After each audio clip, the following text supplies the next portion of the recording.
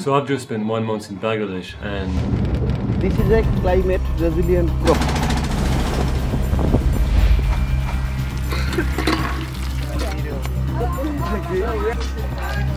literally the end of the road. The road already disappeared.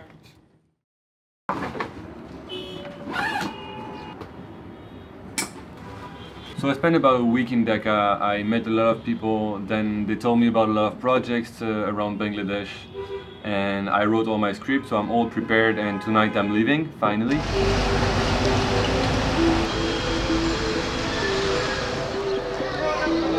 This you sleeping, others man.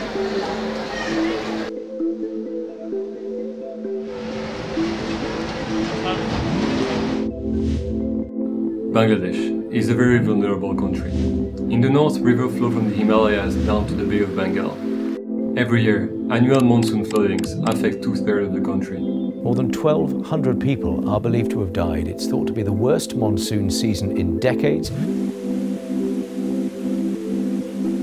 A third of Bangladesh is still underwater. In the south, tidal floods and cyclones are ravaging the coastal belt, polluting fresh water, destroying houses, crops, infrastructures. A trail of destruction along India's eastern coast. and often taking away people's lives. The government evacuated millions of people before Fani barreled into Bangladesh. That meant many. The land of Bangladesh is very flat. 79% of the country is just above sea level. Any change in rainfall or sea level results in catastrophic events. Floods, drought and cyclones are not new. People have been living with them for centuries. But this past decade, they are becoming more frequent and more unpredictable. The people living in these vulnerable areas don't have time to recover before another disaster falls upon them. So I spent three weeks in the coastal area to understand the problem and to see how people are adapting to climate change. I met with scientists from the Bangladesh Rice Institute, the UNDP, many government officials, and villagers in every places I went. What shocked me the most was the proximity and the reality of the danger. The people living there know that from one day to another, they can lose everything. Someone told me in Bangladesh people are very innovative. When you face threats every day of your life, you have to innovate and adapt, or you die.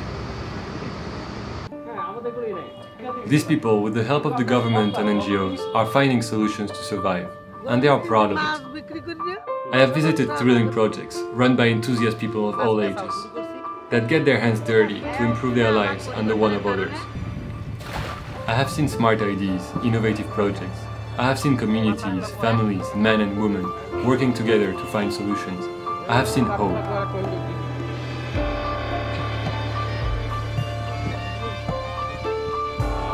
This was a short introduction to my videos coming up next week.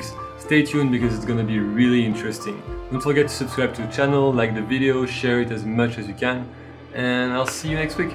Bye. It's getting really, really hot in here. Better like this.